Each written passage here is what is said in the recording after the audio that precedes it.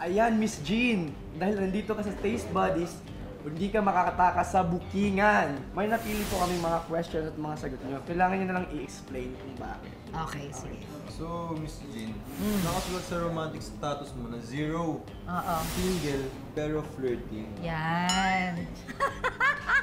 Tatanong pala sa akin. single naman ako talaga.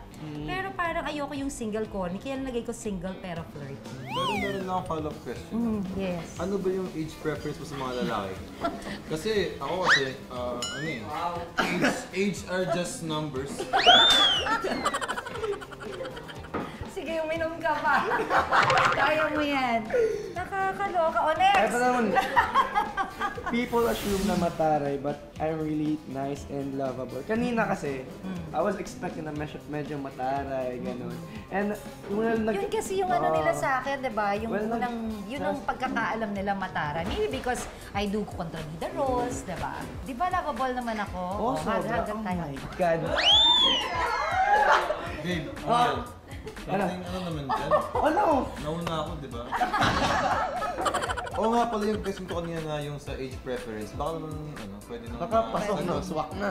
Ah, hindi ko Nakakaloka to.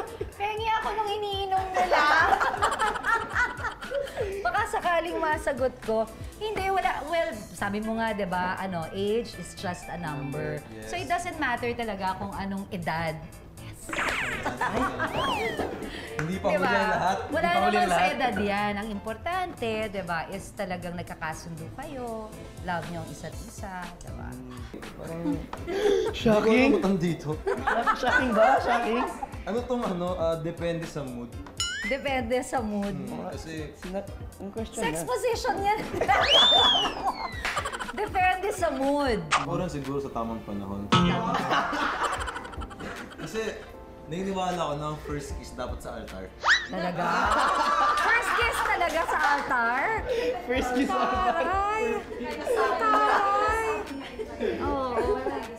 Naku, pag ganyan yung, yung ano, lahat ng magulang na nanonood ngayon, gusto kang maging maging asawa ng kanilang mga anak. Yes, kaya sa mga kabataan ngayon, tularan niyo ako. Maraming maraming salamat. Thank you so much sa time ninyo. Thank you, Taste Buddies.